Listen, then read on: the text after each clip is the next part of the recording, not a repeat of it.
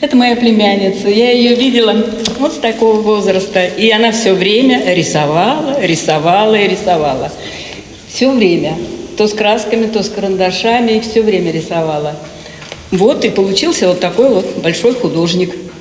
Этот особенный день своей жизни художница Мария Лисиченко запомнит, пожалуй, навсегда. В фойе второго этажа Дворца культуры «Мир» собрались ее друзья, учителя и ученики. Они пришли сюда, чтобы увидеть все те работы, над которыми она трудилась днями и ночами на протяжении многих лет.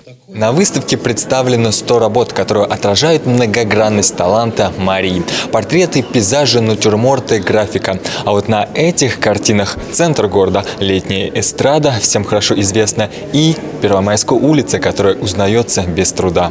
Выставка – это не просто демонстрация картин, это отдельный мир. В каждом произведении отражена целая палитра эмоций и переживаний художницы. Мария разделила работу по своим жизненным периодам. Из этих отдельных картин, отдельных историй можно сложить единую картину ее судьбы.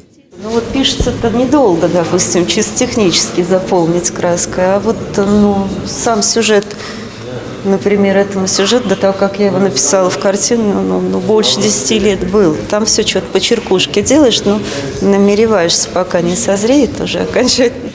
Готовить выставку начали за две недели до открытия. По вечерам постепенно картины занимали свои места, появлялись подписи. Нашей съемочной группе удалось понаблюдать за этим таинством и своими глазами увидеть, как Мария готовится к столь важному для себя событию. Около ста картин. Если получится все уместить, так вот и будет.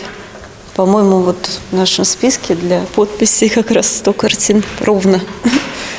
Включая, конечно, вот эти все и маленькие. Есть такие маленькие картиночки, которые я очень люблю сама просто. Лично для меня ценные. Картина, нашедшая в выставочном зале свое место одной из первых, посвящена городу Лыткарина. На ней запечатлен ярко-красный закат позднего лета. Произведение было написано художницей в юности и прекрасно передает ее настроение того периода жизни. Рядом два автопортрета. Один Мария нарисовала в 16 лет, а вот второй перед этим Новым годом, буквально в декабре. Вообще вот этот вот юный портрет надо пролить, а этот бы так оставить. Да, я оставлю. Угу.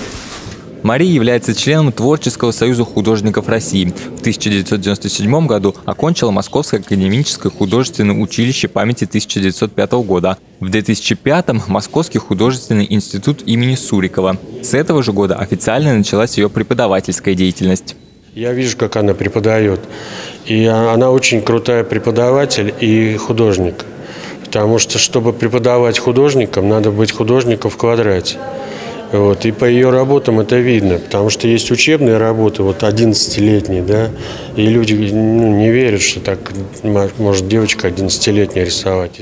Мария обладает огромным количеством знаний в области живописи и скульптуры. Этот накопленный опыт позволяет ей в полной мере проявлять свою самобытность, принимать смелые решения и следовать своему пути, передавая с помощью кистей и красок собственные чувства, мысли и переживания. Она очень добрая, она кажется а, скрытной, но на самом деле она а, любит а, давать информацию, любит давать информацию даже о себе. И вот очень интересно с ней общаться, даже на параллельные темы, и параллельные не об искусстве, о ней, о жизни. Очень хороший, добрый человек. Друзья и учителя Марии уверены, впереди у нее новые творческие успехи и, конечно, новые картины. А вот какие, этого пока не знает даже она сама. Настроение меняется, люди вокруг меняются. Э, вот.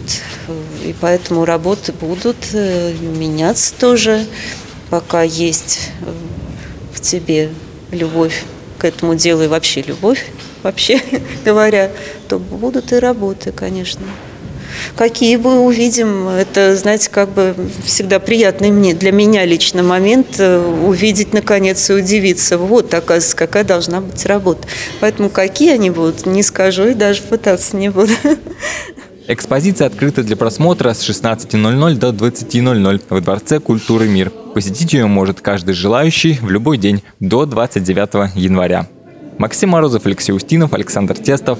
Новости Латкарина.